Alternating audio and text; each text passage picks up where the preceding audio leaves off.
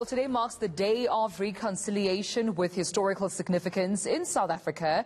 An integrational dialogue will be held to explore issues of reconciliation as well as social cohesion, amongst others.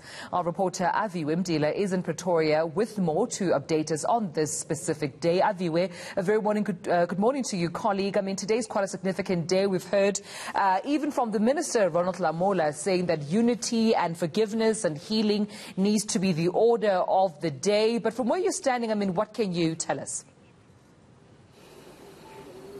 Certainly, unity is at the key of this uh, important day in the country, Reconciliation Day, or the Day of Reconciliation, as it's significantly known.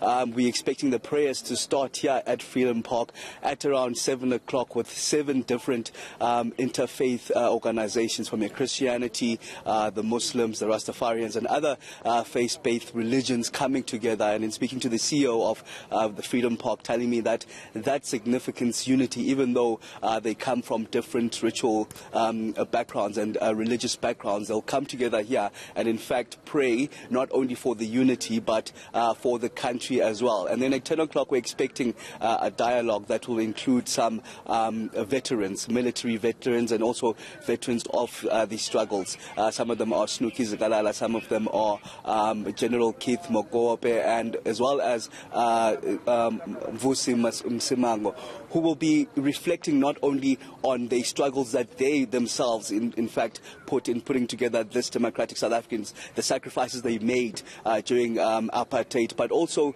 uh, will give guidance to the current leadership and some of the aspects that they can take uh, from those leaders of those days and how they could help the country going forward. Of course, Reconciliation Day not, marks not only the, um, the coming together of government in 1995, but also the formation of Umkhonto we Sizwe, uh, happening on the 16th of December, um, uh, as well as the, marking the Battle of Ncome River happening back in the 80s already. So three significant events coming together to commemorate the reconciliation of South Africa. Now, do we know if this will be a closed event just for some of the ANC veterans, some of, you know, perhaps even government officials, as well as members of the Interfaith Aviwe, or can the public uh, even be present and view this dialogue and participate in it?